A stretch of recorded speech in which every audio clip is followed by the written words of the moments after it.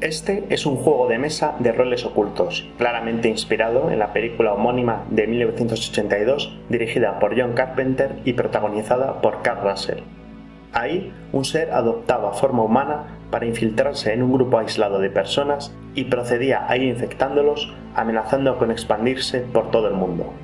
Una de las principales bazas de este juego es que funciona tanto para grupos pequeños como grandes. Va desde 4 hasta 12 jugadores, es solo de cartas, y estas se adaptan según el número de personas que participan. Al repartir, solo uno recibirá en secreto y al azar el rol de la cosa. A partir de ahí tendrá que ir infectando al resto del equipo.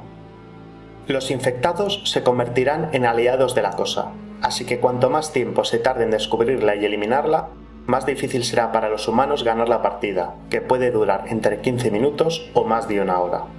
Las cartas tienen unos dibujos divertidos y originales, que ayudan a una inmersión total en el espíritu de paranoia y desconfianza que domina el juego.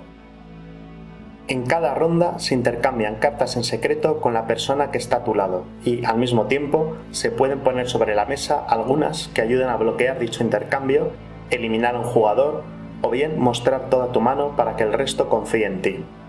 Además, hay cartas que, al cogerse del mazo, obligan a todos o bien parte del equipo a cambiar de sitio y otras acciones que pueden facilitar o bien dificultar los movimientos de la cosa para infectar a todos. Está permitido mentir y acusar a otros jugadores cuando miremos en secreto sus cartas.